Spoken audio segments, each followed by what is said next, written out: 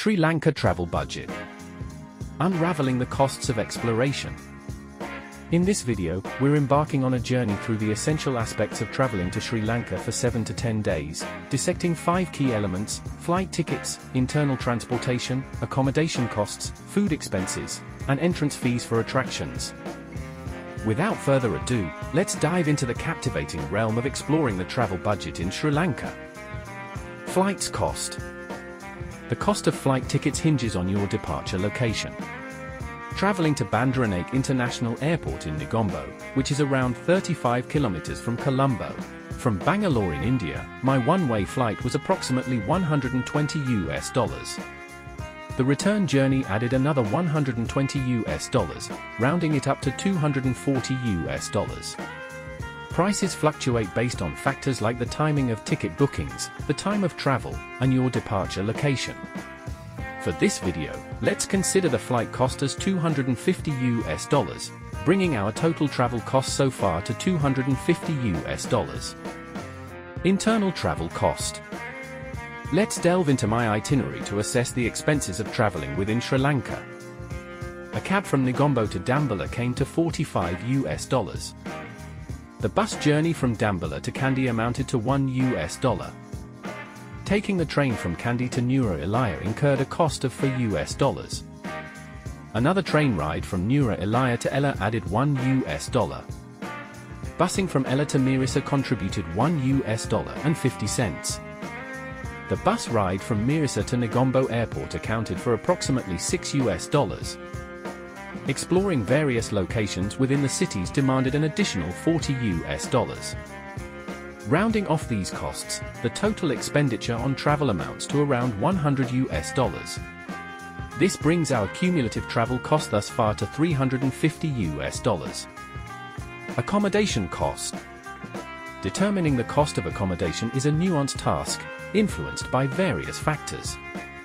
For a comfortable stay spanning 9 nights for 2 people, homestays, a popular and cost-effective option, often include breakfast. During my journey, I spent a night in Negombo, Dambulla, and Nuwara Eliya, and two nights each in Kandy, Ella, and Mirissa, totaling 9 nights. The cumulative cost for this stay amounted to approximately 165 US dollars. While breakfast inclusion varied, excluding it brings the average nightly cost to 18 US dollars. This figure can be significantly lower for budget-friendly backpackers and higher for those seeking a more luxurious experience. With the accommodation costs now incorporated, our total travel expenditure reaches 515 US dollars. Food costs. Over 9 days, I spent around 82 US dollars on food. Rounding it up to 90 US dollars makes an average of 10 US dollars per day cost for food in Sri Lanka. The total travel cost now comes to 605 US dollars. Entrance fees for attractions. Understanding that entrance fees vary for citizens and foreigners, let's break down the costs as a foreigner. During my visit, I explored different attractions. Dambulla Caves, explored for 2 US dollars. Pidurangala Rock in Sigiriya, wandered for 3 US dollars. Sri Dalada Maligawa in Kandy, immersed in culture for 5 US dollars. Buddha Temple in Kandy, spiritual exploration for 1 US dollar. Victoria Park in Nuwara Eliya, nature's beauty for 1 US dollar and 50 cents. Rounding up these entrance fees, the total comes to around 15 US dollars, contributing to the grand total travel cost of 620 US dollars. So, the total travel cost for Sri Lanka for 9 days would be around 620 US dollars. There are a few attractions like Lion Rock, Yala National Park, and whale watching that might cost a little more if included in your itinerary.